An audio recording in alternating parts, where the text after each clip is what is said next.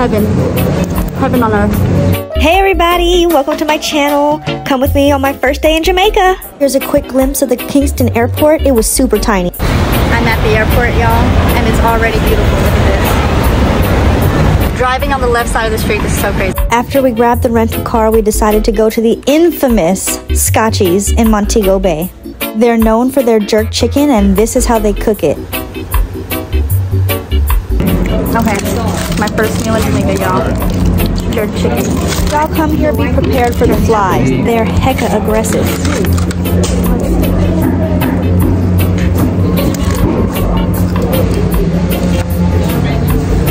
Heaven.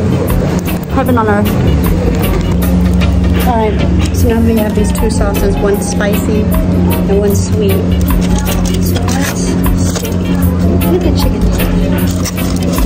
Spicy one first.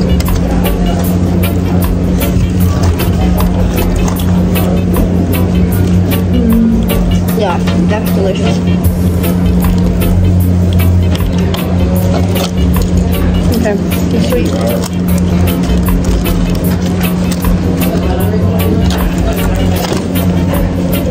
I don't know what we got.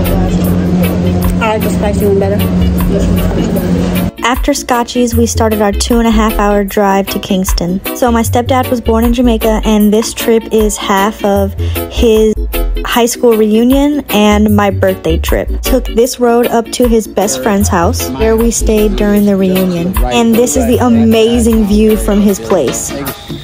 Y'all, this place is so beautiful. I mean, look at that view of Kingston. I just, can you imagine waking up to that every morning? Got some Chinese food for dinner, and y'all, Jamaican Chinese food is a little bit different than American and still delicious. Thanks for watching! Make sure to like this video and subscribe. More Jamaica videos coming soon!